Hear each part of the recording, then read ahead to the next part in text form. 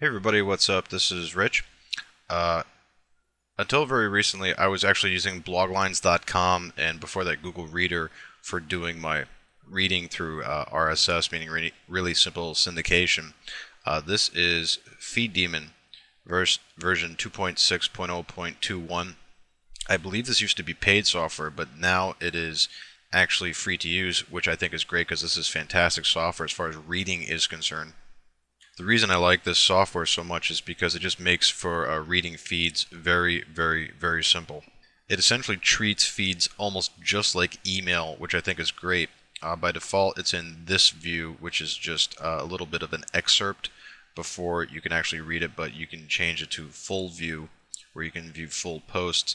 Uh, like with excuse me, Bloglines and Google Reader, you can use your J and K keys to go back and forth between articles, which I think is fantastic.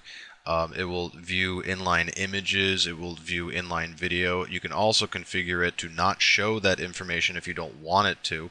Uh, if you happen to be on a slow connection or something like that. If I go to the uh, reading options part of it, it will say uh, optimized newspaper. The newspaper meaning the main reading area. It'll say optimize for low bandwidth. It'll remove the images, and you can disable the videos entirely if it has like embedded YouTube or embedded uh, Revver or something like that, which I think is fantastic. Uh, you can also set uh, desktop alert so it shows a little toaster pop up at the bottom right of the screen. Uh, I think this is great that you can actually set it as your default subscription method in the Firefox browser. It's really easy to use folders. Uh, it's uh, really easy to set fonts, uh, your preferred font for reading feeds if you want to. You can search your feeds. You can uh, star feeds like you can in um, pretty much any online reader. Um, I like the fact that if you're already with Bloglines, you can actually go into this and import all your existing feeds into here without a problem. So you don't have to resubscribe to everything all over again, which I thought was even better.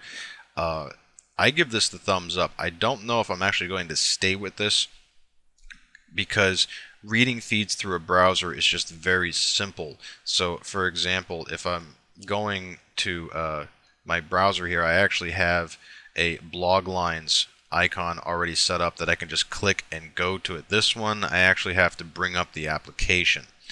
So a little bit of a drawback, but uh, the fact that I can sort through this stuff a whole lot easier is a really compelling reason to use it. If you want to check this out, just go to uh, newsgator.com.